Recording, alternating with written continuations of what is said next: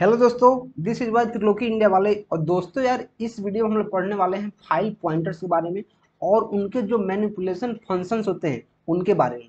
इस वीडियो को देखने के बाद आपको फ़ाइल पॉइंटर्स और उनके मैनिपुलेशन फ़ंक्शंस के बारे में सारा का सारा डाउट क्लियर हो जाएगा। तो बिना किसी देरी के हम लोग वीडियो में आगे बढ़ते हैं और जानते हैं इन दोनों टॉपिक के बारे में। तो सबसे पहले हम लोग जानने वाले हैं फ़ाइल पॉइंटर्स जो फ़ाइल पॉइंटर्स है, वो हमारा नॉर्मल पॉइंटर नहीं है। मीन्स जो हमारा नॉर्मल पॉइंटर होता था, जो स्टार पी से हम डिक्लेयर करते थे अपने प्रोग्राम में, जो दूसरे वेरिएबल के एड्रेस को स्टोर करता था, वो पॉइंटर हमारा नहीं है। फ़ाइल पॉइंटर एक अलग कंसेप्ट है। तो उसके बारे में हम लोग जानते हैं क्या है। इच फ़ाइल है two associated pointers known as file pointers सिर्फ़ इसका मुझे डिफिनेशन समझ में आया क्या? कि प्रत्येक फ़ाइल के पास दो एसोसिएटेड पॉइंटर्स होता है, जिनको फ़ाइल पॉइंटर्स बोलते हैं। सिर्फ़ मुझे इतना समझ में आया। और ये पॉइंटर्स क्या होते हैं, ये मुझे नहीं पता है। तो मैं आगे बढ़ूँगा और देखेंगे। वन इज़ इनपुट पॉइंटर और get pointer and the other is output pointer और पुट पॉइंटर यहाँ मुझे क्लियर हो गया। क्या? कि जो दो पॉइंटर होता है प्रत्येक फ़ाइल में तो पहला का नाम है इनपुट पॉइंटर या फिर इसमें मैं गेट पॉइंटर कर सकता हूँ। मैं क्या कर सकता हूँ इसको? इनपुट पॉइंटर इनपुट पॉइंटर या फिर गेट पॉइंटर कर सकता हूँ। और दूसरा का नाम क्या है? दूसरा का नाम है आउटपुट पॉइंटर या फिर पुट पॉइंटर आउटपुट पॉइंटर इतना मुझे समझ में आ गया। जब इतना मुझे समझ में आ गया तो मैं आगे बढ़ूँगा और देखूँगा क्या लिखा है।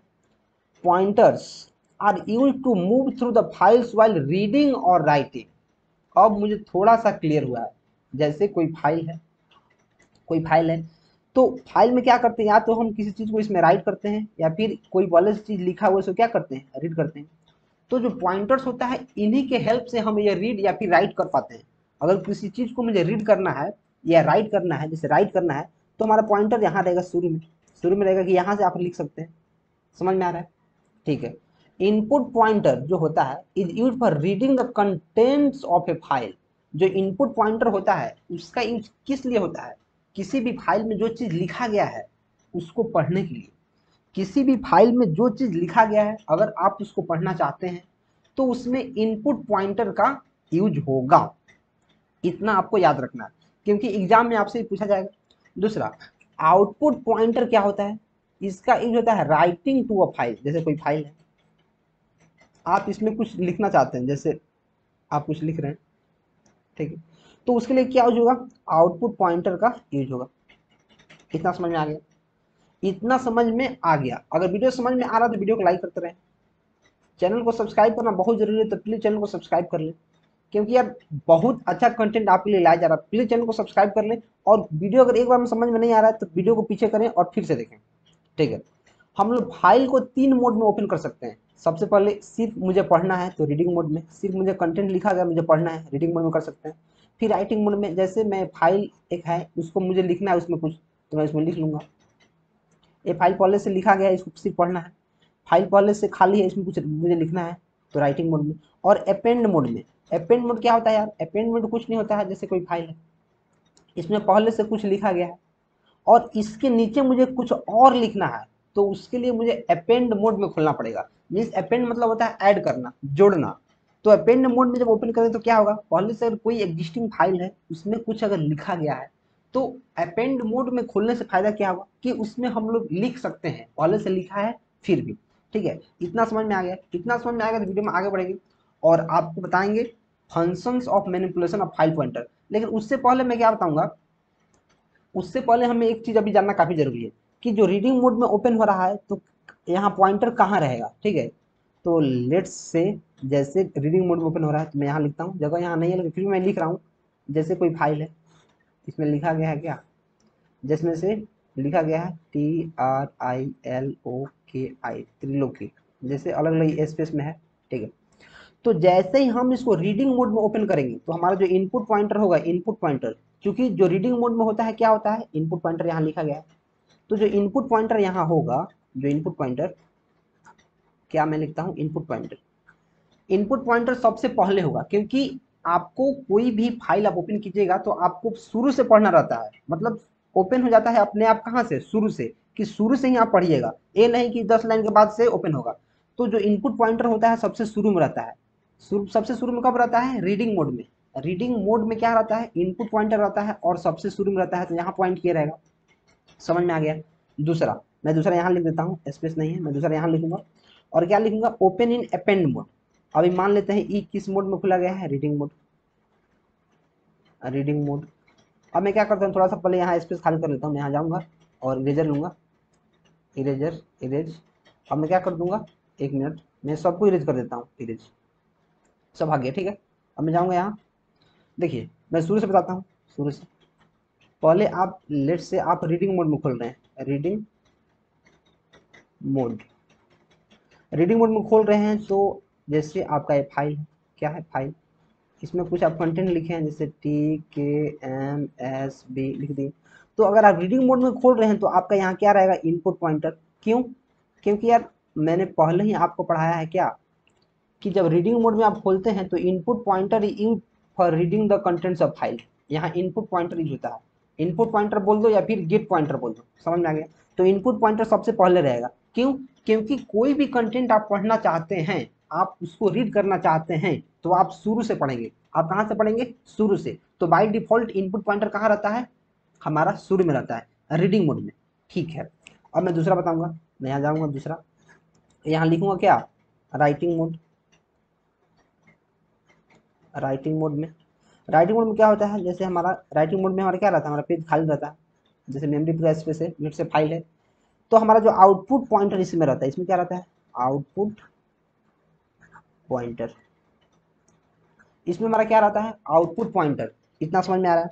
इसमें क्या रहता है? Output pointer. क्यों? क्योंकि यार हमने फ़ाइल पॉइंटर डिफिनेशन में ही पढ़ा है कि output pointer is use for writing of file. File में किसी चीज़ को राइट करना है तो हमें आउटपुट पॉइंटर को सबसे आगे रखना पड़ता है और हम राइट भी यहीं से करेंगे। ऐसा मैं थोड़ी एक दस लाइन छोड़ के हम यहाँ से राइट करते हैं, वहाँ बाई डिफ़ॉल्ट रहेगा। नहीं। मुझे शुरू से राइट करना होता है तो क्या रहेगा आउटपुट पॉइंटर? शुरू में रहेगा। इतना समझ में आ गया। जब इतना समझ में आ गया तो मैं यहाँ बताऊँगा तीसरा जो होता है अपेंड मोड इसको समझना काफ़ी ज़रूरी है, क्योंकि यार बहुत सारे बच्चे इसको समझ नहीं पाते हैं और फिर बोलते हैं फाइव पॉइंटर भारी है। इसमें जैसे है, जैसे इसमें क्या है? पहले से कुछ कंटेंट लिखा गया है टी के एस एम आर इसमें से पहले कुछ, पहले से कुछ कंटेंट लिखा गया है और कुछ कुछ खाली है। तो मुझे इसमें अपेंड करना है। मीन्स कुछ वैल्यू को इसमें क्या करना है? ऐड करना है। कुछ वैल्यू क्या करना है? इसमें जोड़ना है।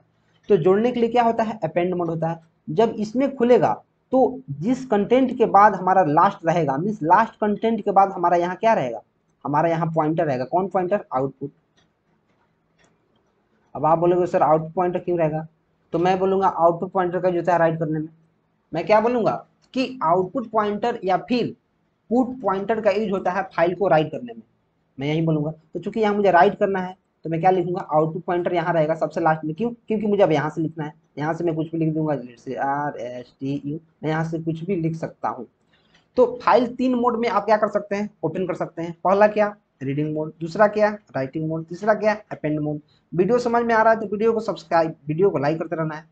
चैनल को सब्सक्राइब कर देना है और अपने दोस्तों के साथ इस सी प्लस प्लस के प्लेलिस्ट को मैं कहूँगा कि आप शेयर कर दीजिए, क्योंकि यार आपका वो बहुत नाम लेंगे कि आप बहुत अच्छा प्लेलिस्ट उनके साथ शेयर किए हैं, उनका हेल्प हो पाएगा और वो भी आगे बढ़ पाएँगे, ठीक है? इसी के साथ वीडियो में हम आगे बढ़ेंगे और जानेंगे functions of manipulation of file pointers जो फ़ाइल पॉइंटर्स हैं, उनके फ़ंक्शन क्या क्या हैं और किन फ़ंक्शन का यूज़ करके हम मैनिपुलेट कर सकते हैं मतलब उसमें कुछ चेंजेस ला सकते हैं, कुछ वैल्यू ऐड कर सकते हैं, कुछ वैल्यू सब्ट्रैक्ट कर सकते हैं, और भी बहुत सारा ऑपरेशन कर सकते हैं।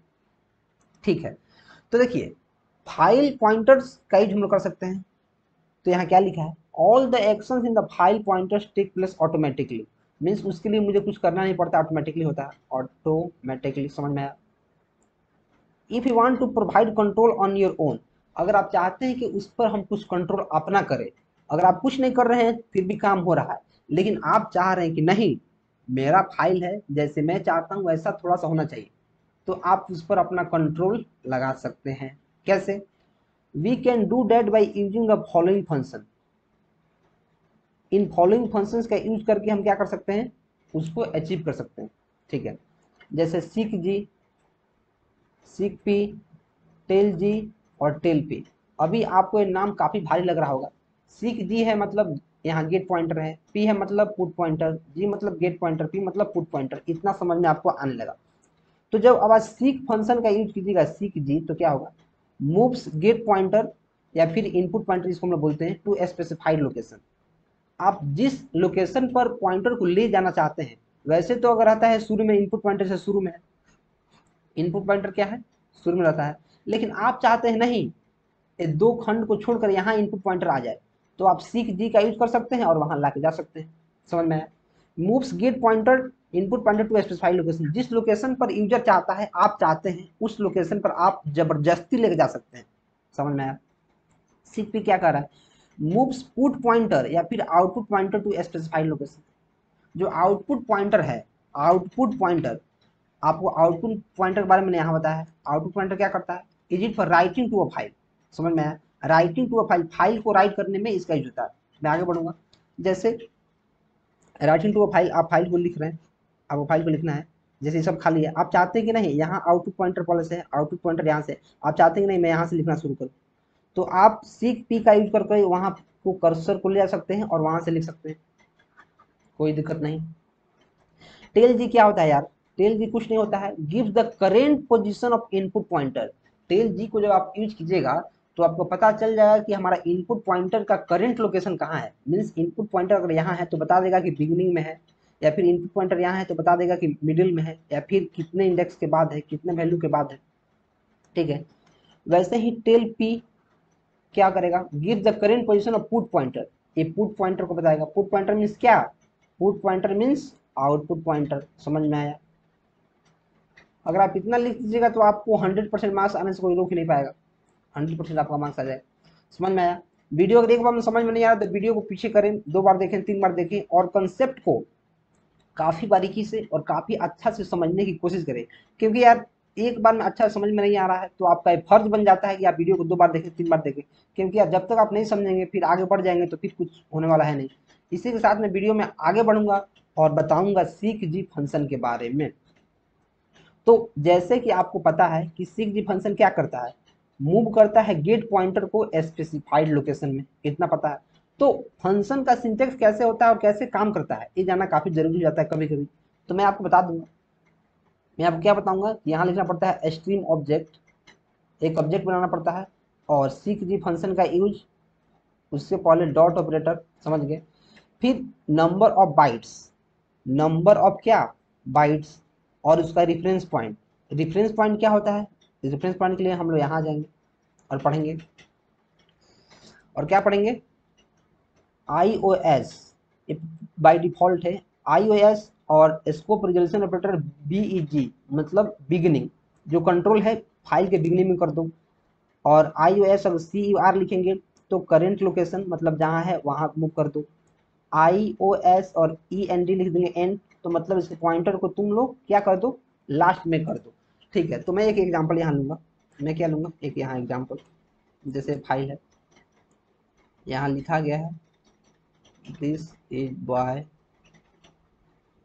Triloki India वाले हमने लिख दिया। ठीक है।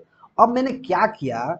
जैसे एस्टीम ऑब्जेक्ट आप कोई भी एस्टीम ऑब्जेक्ट बना सकते हैं। लेट से मैंने यहाँ एफ़ आई एन फाइन बना लिया या fin dot seek G seek G function है। सिक जी मैंने यूज़ कर दिया। अब मैं क्या लिखूँगा? स्ट्रिंग ऑब्जेक्ट बनाऊँगा। मैं क्या करूँगा? रेफरेंस पॉइंटर लिखूँगा। तो मैं क्या लिखूँगा? मुझे लेट से पहले ज़ीरो था। पहले क्या था? ज़ीरो ज़ीरो पर रखना है तो ज़ीरो मैं लिख लूँगा यहाँ। और मैं लिखूँगा आई ओ एस और ये स्कोप रिजोल्यूशन ऑपरेटर और बी ई जी मैंने अगर इतना लिख दिया तो हमारा जो पॉइंटर है, अगर लेट से पॉइंटर यहाँ है तो फ़र्स्ट में आ जाएगा बिगिनिंग में। यहाँ हमारा पॉइंटर क्या हो जाएगा? आ जाएगा। मैं एक एग्ज़ाम्पल और देता हूँ, जैसे एफ़ आई एन मैंने लिखा। और डॉट सिक जी लिखा। और मैंने यहाँ फोर लिख दिया फोर और इसका रेफरेंस मैंने क्या लिखा रेफरेंस पॉइंट और यहाँ लिख दिया क्या? बी जी मीन्स बिगिनिंग से पहले अगर यहाँ है, पहले मान लेते हैं, यहाँ है, इससे तुम चार बाद चल जाओ, चार। तो क्या करेगा? एक, दो, तीन, चार। एस के बाद यहाँ चलाएगा पॉइंटर हमारा पॉइंटर कहाँ जाएगा? पॉइंटर इसको लिख देता हूँ मैं। हमारा पॉइंटर अब कहाँ चलाएगा? चार के बाद चलाएगा। समझ में आ रहा है? समझ में आ रहा है तो वीडियो को लाइक करते रहें चैनल को सब्सक्राइब करते रहें। तो रेफरेंस पॉइंट क्या होता है? यही हमको बताता है कि बी जी अगर लिखेंगे तो बिगिनिंग में चला जाएगा। अगर इसमें कुछ मैं वैल्यू दे दूँगा तो ज़ीरो में आएगा तो बिगनिंग में आ जाएगा। अगर मैं कुछ वैल्यू दे दूँगा, चार तो बिगनिंग से कितना चला जाएगा? चार आगे। अगर मैं एन ई एन डी दे दूँगा, यहाँ ई एन डी एन तो लास्ट में चला जाएगा। इसके लास्ट में, यहाँ लास्ट में चला जाएगा। समझ में आ रहा है? कोई दिक्कत हो तो आप कमेंट कर सकते हैं। कोई भी दिक्कत है तो आप कमेंट कर सकते हैं। उसमें कोई दिक्कत नहीं है। मुझे नहीं लगता है कोई दिक्कत होने वाला है। अगर इसके बावजूद भी कोई दिक्कत रह जाता है तो प्लीज़ आप कमेंट कर सकते हैं। आपके कमेंट को काफ़ी अच्छा से सुलझाया जाएगा। ठीक है। जब इतना क्लियर हो गया तो हम हम पढ़ेंगे tell G. Tell G function के बारे में। ये क्या करता है। It tells of the current location of the get pointer get pointer का करेंट लोकेशन क्या है? जैसे इसमें कुछ लिखा गया है, जैसे पॉइंटर यहाँ है। उसे करेंट लोकेशन बताएगा कि कहाँ है, जैसे पॉइंटर यहाँ है तो करेंट लोकेशन बताएगा कि अभी फ़िलहाल में पॉइंटर हमारा कहाँ है। सिंटेक्स इसका भी कुछ होता है। जैसे एक्सट्रीम ऑब्जेक्ट कोई भी आप ऑब्जेक्ट बना लिए let say F I N dot इसका टेल जी फ़ंक्शन आप यूज़ कर सकते हैं। No need of reference pointer reference point जैसे आप यहाँ रिफरेंस पॉइंट लिखते थे, ये सब रिफरेंस पॉइंट है। ए सब B E G C U R E N D इसको राइट करने की इसमें कोई ज़रूरत नहीं है। टेल जी, में इसको राइट करने की कोई ज़रूरत है ही नहीं। और इसमें आप क्या ऐसे कॉल कर सकते हैं? इसको int P O S position है या फिर आप कोई भी वेरिएबल यहाँ बना सकते हैं। और F I N dot tell G F I N tell G का जो वैल्यू होगा, वो किसमें असाइन हो जाएगा? पी ओ एस में असाइन हो जाएगा। ठीक है, इसी के साथ वीडियो में आगे बढ़ेंगे और देखेंगे कि हमारा कंप्लीट हो गया। तो ये रहा हमारा function of manipulation of file pointer और साथ ही साथ फ़ाइल पॉइंटर्स क्या होते हैं। इसके बारे में मैंने काफ़ी डिटेल में आपको बता दिया है। कि फ़ाइल पॉइंटर्स क्या होते हैं, कैसे काम करते हैं, कैसे हम लोग फाइल्स को रीडिंग मोड राइटिंग मोड और अपेंड मोड में ओपन करते हैं और कैसे हमारा जो फ़ंक्शन है सारा का सारा कैसे काम करता है। तो इसके रिगार्डिंग कोई भी डाउट है तो आपको क्या करना है? आपको करना है सिंपली नीचे जाकर कमेंट वीडियो पसंद आ रहा है तो वीडियो को लाइक करना है लाइक और चैनल को सब्सक्राइब करना बहुत ज़रूरी है तो चैनल को सब्सक्राइब कर लीजिए प्लीज़ और इसी के साथ हम लोग इस वीडियो को अंत करते हैं। तो चलिए, मिलकर हम लोग आगे बढ़ते हैं और एक नए टॉपिक को पढ़ेंगे नए वीडियो में. Till then keep supporting and keep exploring